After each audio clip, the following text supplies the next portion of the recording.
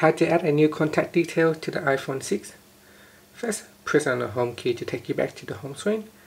Then you need to launch the contact app. Sometimes you may find a contact app in this extra folder here. So launch the contacts app. It in here. Tap on the add button at the top. From here you can uh, put in the first name. And then you can add in the phone number so put in some phone number and you can add in as many phone number as you like.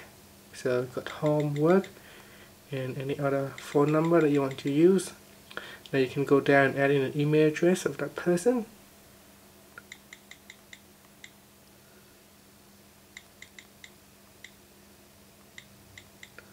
Then you can go down and add in some more email address or you can assign a unique ringtone for that person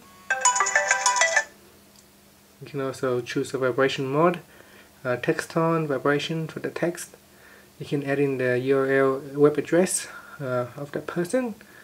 And you can also add in the home address, birth date,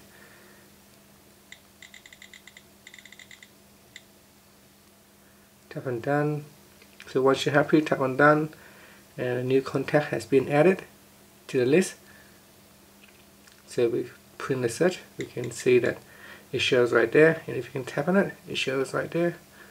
So that's how you can uh, add a contact to a contact app on the iPhone 6 thank you for watching this video